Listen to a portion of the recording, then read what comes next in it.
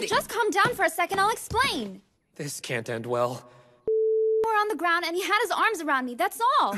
That's what saw. It's no big deal.